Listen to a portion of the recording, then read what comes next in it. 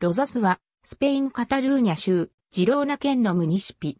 アール・テンポルダー郡に属する。公式名は、カタルーニャ語のローゼズ。ロザス湾北岸、クレウス半島付け根に広がる。コスタブラバ北部有数の観光地で、二つの港を持ち、ホテルや海水浴場がある。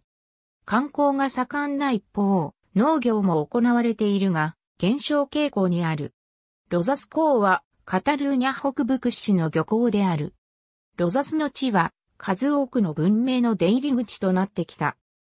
新石器時代のものとされるドルメン、紀元前4世紀から2世紀にかけての古代ギリシャ、古代ローマの効果、キリスト教の影響を示す建物などが確認されている。10世紀、サンタ、マリアダ・ロザス教会は、ベネディクト会修道院の所有となった。中世、サンタ・マルガリタ・ダ・ロザス修道院設置と同時に人口が増加し始めた。アンプリアス博が町の支配者であった。湾の奥にある良港を持ち、通称の町であったロザスは海からのサラセン人海賊の略奪、陸からのフランス人の侵攻の格好な標的にされた。このためにロザス要塞が設置され、16世紀にはカルロス一世によって増強が図られた。ナポレオン軍に対するスペイン独立戦争で最終的に要塞が使用不可能にされるまで存続した。